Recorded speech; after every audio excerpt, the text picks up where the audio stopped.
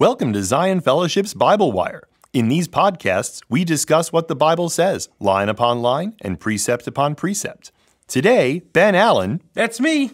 will be continuing our study on the book of James. Settle in for the next few minutes and learn more about who God is and how he loves.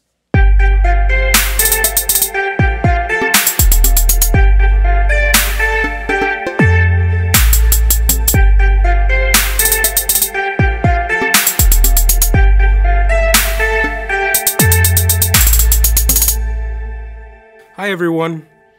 In the last episode, James talks about the attitude of some believers who are not considering God in their deliberation, and it relates uh, to their future plans. And so he chastens his readers not to slander nor commit sins of omission. That's what that is. So, in this episode, we're going to deal with James chapter 5, verses 1 through 6. I'm reading out of the ESV. Come now, you rich, weep and wail for the miseries that are coming upon you. Your riches have rotted, and your garments are moth eaten.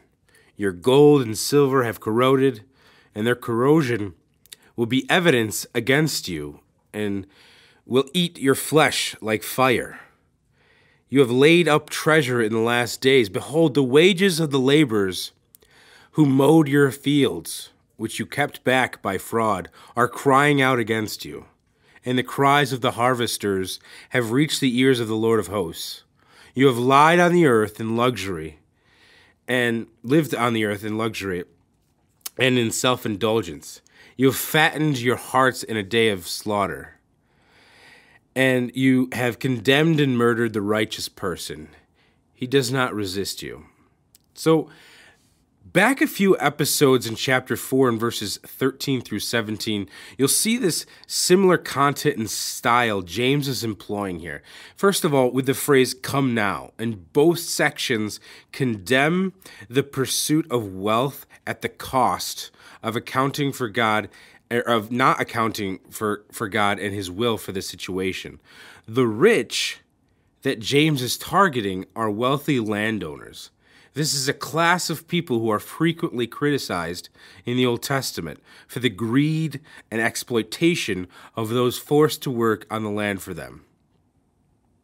And as we pointed out in this exposition in the first chapter, the term rich must be carefully defined in the biblical context. It bears not only an economic sense, but a theological one as well. In sorting out the degree to which one or the other of these nuances is present in any given occurrence of the word is not easy.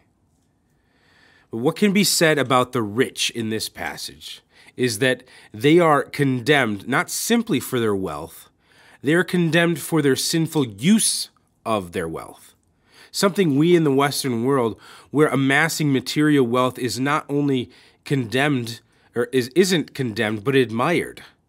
We Christians need to come to grips with this point in James and ask ourselves seriously when do we have too much? Something we spoke about earlier is worth noting that these rich people, in my research at least, seem to not be among the Christian readers of the letter. Rather, they are wealthy non Christians who are oppressing, oppressing the Christian community. James condemns these with some serious Old Testament language. Weep and wail are the reaction of the wicked when the day of the Lord arrives. For example, in Isaiah 13 6, wail, for the day of the Lord is near. As destruction from the Almighty, it will come. Wail is only found in the prophets in the Old Testament and always in the context of judgment. See Isaiah 10:10, 13:6, 14:31, 15:2 through 3, Amos 8 uh, verse 3, Zechariah 11:2, Jeremiah 2:23, 31:20. You get the point. James' denunciation of the rich picks up and develops a persuasive biblical theme. God's concern for the poor is reflected in many of the Mosaic laws that give direction to the people of Israel as they live in covenant relationship with their God. And in Israel's later history, these laws were often ignored, the poor were oppressed and taken advantage of by wealthy, powerful office holders and landowners. As a result, the term rich can be occasionally be used as a synonym for the unrighteous. So, for example, Proverbs 10 15 through 16 and Proverbs 14 20. The prophets take up the theme frequently, denouncing the socioeconomic oppression being practiced by the wealthy.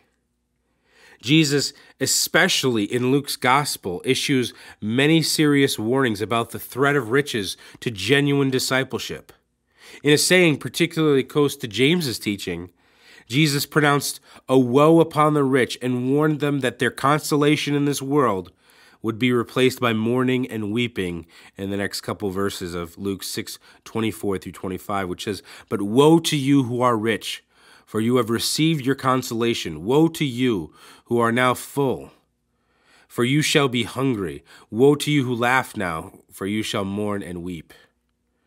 In Revelation 18 10 through 24, it's a, it's a lengthy woe that's directed to the merchants of the earth who weep and mourn over the devastation of the great city Babylon. Babylon.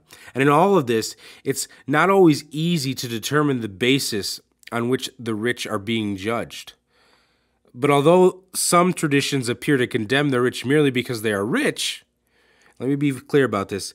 In the Old Testament, at least condemnation of the wealthy people are almost always attributed to a misuse of wealth. Let me say that again. In the New Testament, at least condemnations of wealthy people are almost always attributed to a misuse of wealth. And certainly, James' enumeration of the sins of the rich people that he condemns shows that this is the case here.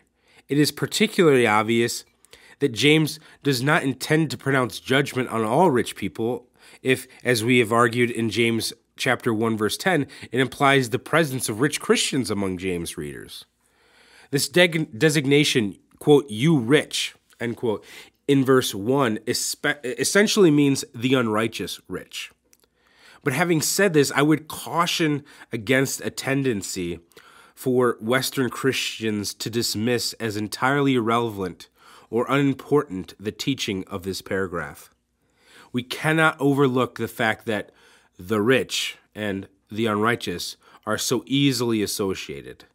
Scripture warns that wealth can be particularly strong obstacle to Christian discipleship.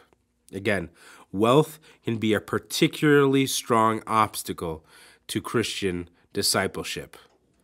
Jesus warned, I tell you the truth, it is hard for a rich man to enter the kingdom of heaven. Matthew 19 23. And James says, You your riches have rotted, and your garments are moth eaten. Your gold and silver have corroded, and their coercion uh, will be evidence against you and will eat your flesh like fire. You have laid up treasures in the last days. Verses 2 and 3 are short and direct prophetic pronounce, pronunciations. These provide us with the first reason for the condemnation of the rich. In verse 1, they use their wealth for their own selfish purposes. Plain and simple. James brings a lot of metaphor to the table in these two verses.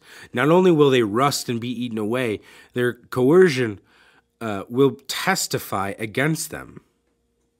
This is from Douglas Moo's Pillar Commentary. He says, quote, The last days is language that the Old Testament prophets used to denote the period when God would fulfill his promises, bring judgment on the wicked, and save the righteous.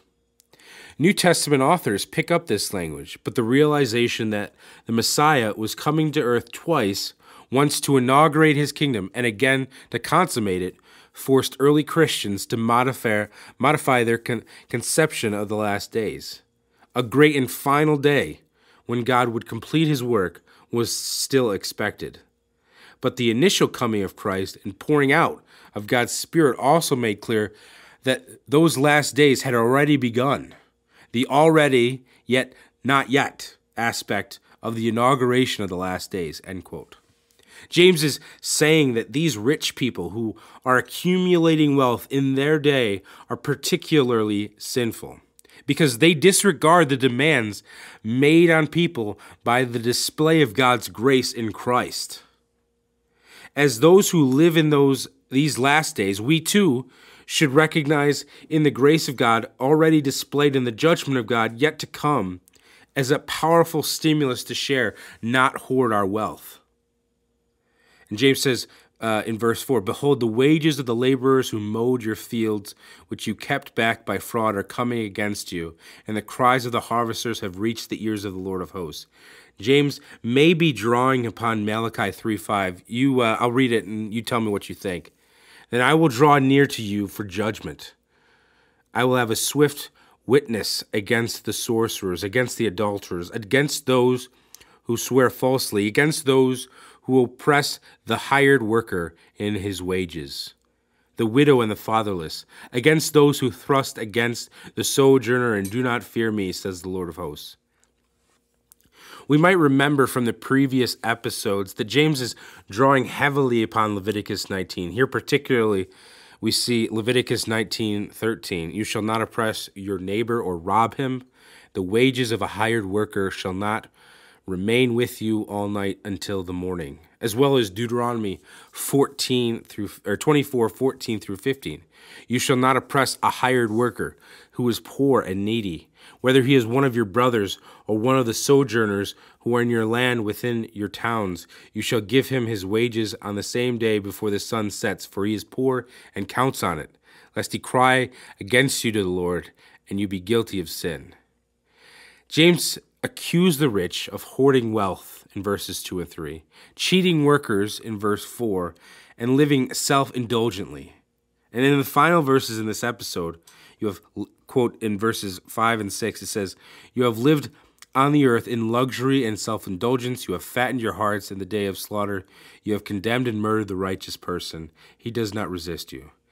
James here issues a climax in his denunciation he accuses them of condemning and murder, murdering the innocent one which can also be translated as righteous one james goes after the one who went after the one who did nothing wrong the Lord of hosts will vindicate the righteous and innocent in due time. Next episode, come with me, James will remind his readers of this fact, and we must also remember this in our day as well. Thank you. We have reached the end of today's Bible Wire podcast. If you'd like more information about our church, or if you'd like more resources related to this podcast, you can find us online at www.zionfellowship.net. We're also available on social media. Look for Zion Fellowship. Thank you for joining us today on Bible Wire.